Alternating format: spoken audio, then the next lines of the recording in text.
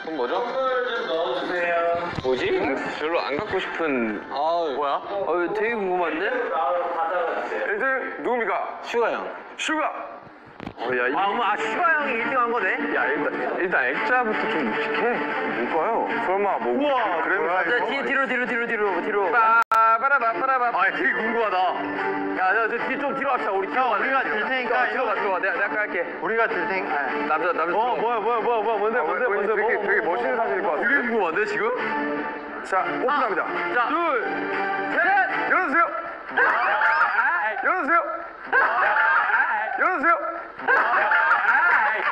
뭐야? 열어주세요.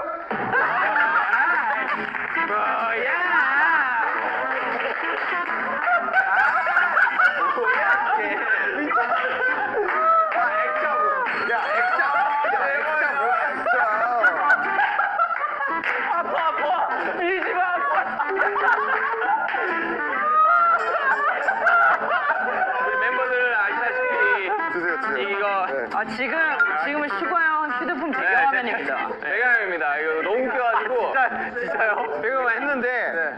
야, 우리 아티스트 접견실에 두자, 이거. 야, 아, 이거 나. 여러분 작품명 한번 붙여주시죠. 뭘까요? 작품면. 이거 저번에 작품명 신인 배우였었잖아, 신인 배우. 신인 배우. 아, 열심히 활동할 테니 많이 아니, 이걸 왜 나한테 선물을 줘, 근데. 야, 이 진짜 대박이다. 요거는 이제 접견실에 걸어두는 걸로 하겠습니다. 아, 잘 나왔어요. 상품을 한 이유는 그 요 사진 찍고 나서 보고 있으면 되게 기분 좋아진다라고 여러분들이 다 맞아요, 맞아요. 아, 근데 진짜, 아, 이건 되게 힘들 때마다 한 번씩 봐야 돼. 접견실에 잘 걸어둘 테니까 여러분들이 항상 회사 와서 힐링을 하고 가셨으면 좋겠습니다. 저는 모든 통수로서 이 사진이 오늘의 가장 베스트 아, 사진. 베스트. 아, 백점 줘야 돼, 이거. 백점 줘야 돼. 백점 드리겠습니다. 네, 아, 이길 수가 없는 사진이에요, 저 아, 사진. 진짜? 아, 네.